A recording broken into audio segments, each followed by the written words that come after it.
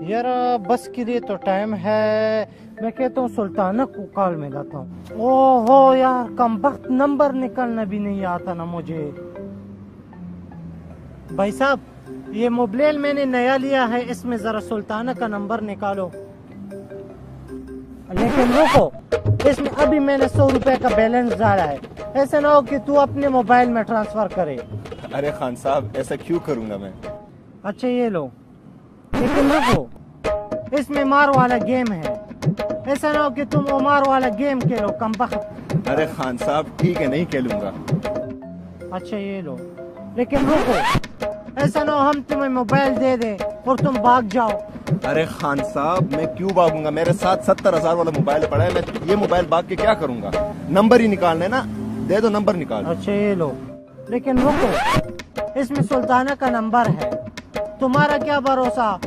اگر اس کا نمبر اس سے لے لیا اور رات کو اس کو مسکالے کرو ایک بات یاد رکھو سلطانہ ہماری بیوی نہیں ہے لیکن بیوی سے کم بھی نہیں ہے۔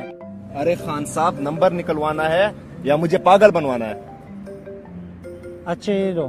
لیکن رکو میرا تیس سال عمر ہے تیرا کیا ایج ہے؟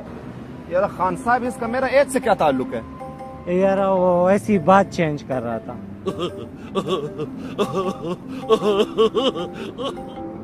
یہ لو سلطانہ کا نمبر ارے سلطانہ اتنے جلدی نکلتا ہے تو کھانا خراب میرا تیس منٹ کیوں ضائع کیا ہے؟ ہیلو ہاں سلطانہ۔ ہاں یار ایک کم بخت نے یہاں پہ میرا آدھا گھنٹہ ضائع کیا ہے۔ ہاں آتا ہوں۔ بس نے کافی دیر موبائل نکال موبائل نکال موبائل نکال موبائل نکال موبائل موبائل دے واپس دے۔ اور چپ چاپ یہاں سے جا۔ پیچھے مڑ کے نہیں دیکھنا ہے۔ اگر پیچھے مڑ کے دیکھا نا، اتنے سوراخ کروں گا، زندگی میں تھی اتنے سوراخ نہیں دیکھیں گے؟ جا۔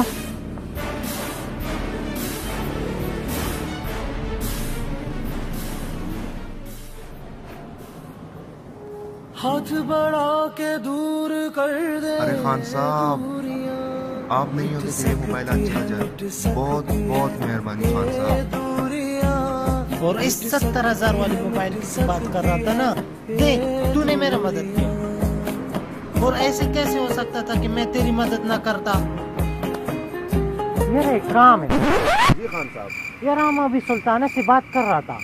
اس میں بیلنس ختم ہو گیا۔ جی۔ ابھی ذرا بتاؤ اس میں بیلنس کیسے چیک کرتا ہے؟ ابھی بتا دیتا ہوں۔ لیکن رکو۔ ایسا نہ تو اس میں قرض منگوا رہے ارے خان صاحب کیوں منگواؤں گا قرض؟ بیلنس چیک لیکن رکو۔ خان صاحب مجھے معاف کر دو۔ لیکن رکو تو صحیح۔ رکو نا رکو نا